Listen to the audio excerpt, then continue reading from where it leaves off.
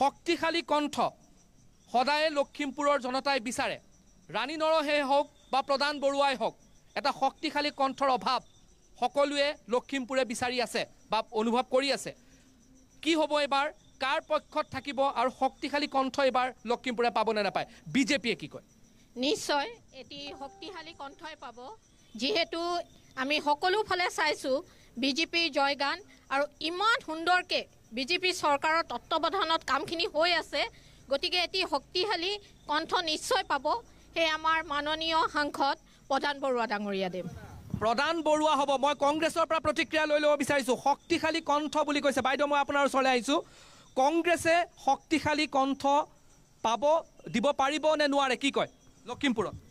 আমি প্ৰথমতে মই বিজেপিৰ প্ৰতিনিধি বাইদেউগৰাকীক দুটা প্ৰশ্ন সুধি ল'ব খুজিছোঁ যে লখিমপুৰ লোকসভা সংসদীয় সমষ্টিটো বিশেষকৈ জনজাতীয় বসতি প্ৰধান কেইবাটাও বিধানসভা সমষ্টিৰ অন্তৰ্গত আমাৰ বৰ্তমানৰ বিধায়ক সন্মানীয় প্ৰদান বৰু সাংসদ প্ৰদান বৰুৱাদেৱৰ আমি কিন্তু সংসদৰ মজিয়াত এই ছয় জনগোষ্ঠীৰ যিটো জনজাতিকৰণ প্ৰক্ৰিয়া সেই জনজাতিকৰণ প্ৰক্ৰিয়াত তেওঁ বৰ্তমানেও নিমাতী কইনাৰ ভূমিকা এটা পালন কৰা আমাৰ পৰিলক্ষিত হৈছে।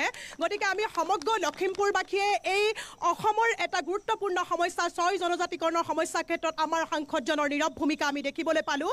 দ্বিতীয়তে আমি দেখিবলৈ পাইছোঁ যে মহিলা সুৰক্ষাৰ ক্ষেত্ৰতো অসমত কেইবাটাও বিগত সময়ত আপোনালোক সকলোৱে প্ৰতীয়মান হৈছে। দেখিবলৈ পাইছোঁ যে কেইবাগৰাকীও নাৰীৰ বিভিন্ন মানে হিংসাত্মক ঘটনাৰ বলি হওক বা যিকোনো কাৰণতে হওক কেইবাটাও হত্যাকাণ্ডই অসম জোকাৰি গৈছিল। বৰ্তমান সময়ত আমি জোনমণি ৰাভাৰ হত্যাকাণ্ড যদিও আমাক চি বি আইয়ে তদন্ত দিলে যে এয়া এটা দুৰ্ঘটনাজনিত হ- হত্যাকা দুৰ্ঘটনাজনিত কাৰণত তেখেতৰ মৃত্যু হৈছিল। কিন্তু সেই ক্ষেত্ৰতো মহিলা সবলীকৰণ বা মহিলাৰ উন্নয়নৰ ক্ষেত্ৰতো আমি প্ৰদান বৰুৱা ডাঙৰীয়াৰ ভূমিকাটো আমি নীৰৱ দেখিবলৈ পাইছিলোঁ।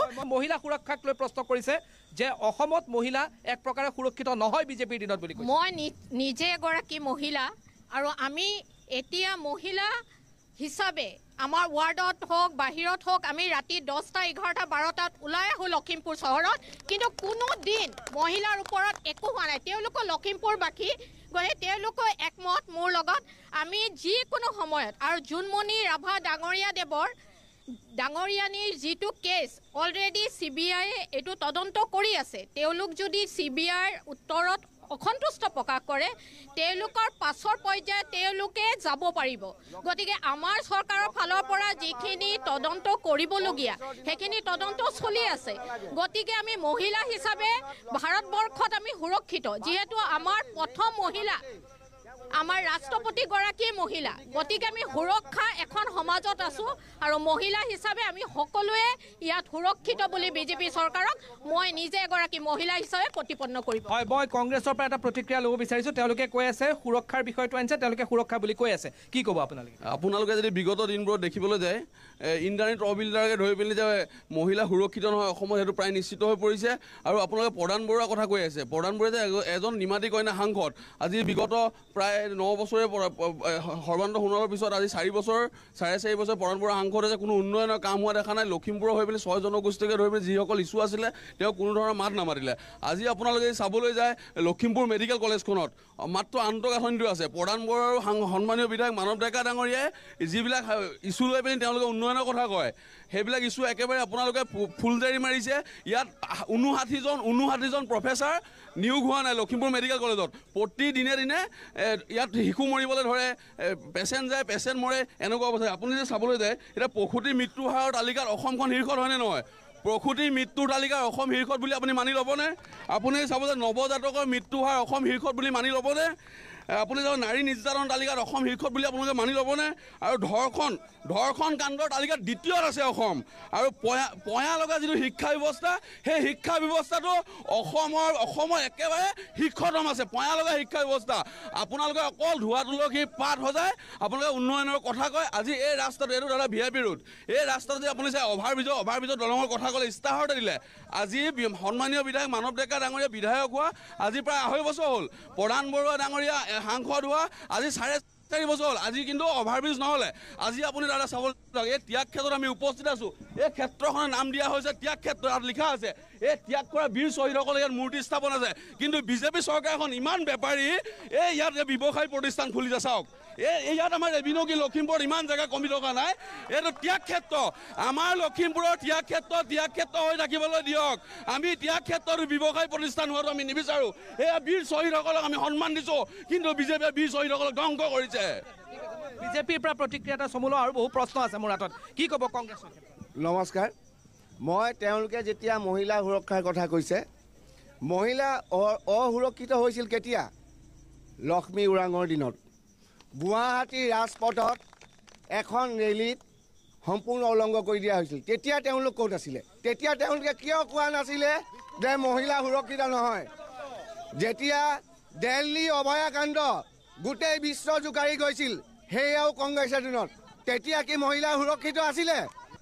আমাৰ যি সংসদ আছে সংসদৰ অধিৱেশন ইতিমধ্যে সমাপ্ত হৈছে আৰু পাঁচ বছৰীয়া কাৰ্যকালত যদি মই প্ৰদান বৰুৱাৰ পাৰফৰ্মেঞ্চ লোকসভাৰ ভিতৰত সোধোঁ তেওঁ বিছটাও প্ৰশ্ন কৰা নাই। এই মুহূৰ্তলৈকে তেওঁ বিছটাও প্ৰশ্ন কৰা নাই। সংসদত তেওঁৰ ডিবেট দুটা বা তিনিটাও কৰা নাই। কি ক'ব? কি ক'ব? মই কৈছোঁ যে সদনত প্ৰশ্ন কৰিলেই সকলো হৈ যায় নেকি ছয় জনগোষ্ঠীক জনজাতিকৰণে কৰিলেই সকলো হৈ যায় নেকি? আজি আপুনি উন্নয়ন চাওক। আজি আপুনি অসমৰ উন্নয়ন চাওক। অকল তেওঁলোকে কংগ্ৰেছে এটা কথাই কৈ আছে ছয় ছয় জনগোষ্ঠী জন জনজাতিকৰণ। আৰে ছয় গোষ্ঠী জনজাতিকৰণ কৰিলেই অসমৰ বানপানী সমস্যা শেষ হৈ যাব নেকি? নহয় নহয় এই ক্ষেত্ৰত আছে। ছয় জনগোষ্ঠীৰ জনজাতিকৰণ দুহেজাৰ চৈধ্যত আপোনালোকৰ ডাঙৰ নিৰ্বাচনী ইছ্যু আছিল। মই আহিব বিচাৰিছোঁ আপোনাৰ ক্ষেত্ৰত। আচলতে তেওঁ মোক ক'লে যে উন্নয়নৰ উন্নয়ন দেখা নাই অন্ধ হৈছে নেকি? যদি আজিৰ তাৰিখতো আপোনালোকে উন্নয়নৰ কথা সৰু সৰু লেট্ৰিনকেইটা দি ৰাস্তাকেইটা দি যদি উন্নয়নৰ কথা কৈ আছে আপোনালোকে মূৰ্খ স্বৰ্গত বাস কৰি আছে। মূৰ্খ স্বৰ্গত বাস কৰি আছে। শুনক দাদা মই পাঁচ নম্বৰ ৱাৰ্ডৰ বাসিন্দা মোৰ ঘৰৰ যিটো ৰাস্তা বাৰিষা হ'লে এআঁঠু পানী হয়। মই ভিডিঅ' আকাৰে Lakhimpur municipality chairman municipality vice chairman সন্মানীয় বিধায়ক মানৱ ডেকা ডাঙৰীয়াক মই দিছোঁ। মোৰ ইয়াত তথ্য আছে। কিন্তু বাৰিষা কালটো গ'লে এইটো উন্নয়ন হ'ব বুলি কয়। আজিলৈকে কিন্তু লাখ আমি উন্নয়ন দেখি পোৱা নাই। লখিমপুৰ নগৰৰ মাজমজিয়াত যেতিয়া অলি গলিবিলাক থাকে আপোনালোকে মাত্ৰ ষ্ট্ৰীট লাইটকেইটা লগাই পেলাই ৰং বিৰং কৰিলে নহয় দাদা। আপোনাল আপোনালোকে আপোনালোকে ধাৰ কৰি কৰি আছে দাদা। চাওক কংগ্ৰেছ চৰকাৰ ঊনৈছশ সাতচল্লিছ চনৰ পৰা দুহেজাৰ ষোল্ল চনলৈকে যেতিয়া আছিলে চল্লিছ হাজাৰ কোটি টকা ধাৰ আছিলে দাদা। দুহেজাৰ চৈধ্য চনৰ পৰা দুহেজাৰ চৌবিছ চনলৈকে এতিয়া এক লাখ ছয়চল্লিছ হাজাৰ কোটি টকা ধাৰ। বছৰ এতিয়া তেইছ চন তেইছ চন চৌবিছ চনত ধাৰ দিছে সাত হাজাৰ ছশ আশী হাজাৰ কোটি টকা সুদ দিবলগীয়া হৈছে বিজেপি চৰকাৰে। এইবোৰ আমাৰ কৰ। আপোনালোকে য'ত পুত পিন্ধি পেলানি আপোনালোকে মুখা পিন্ধি পেলাবলৈ ঘূৰি ফুৰিছে কিন্তু জনতাক মাধৰ মাৰ মাৰিছে।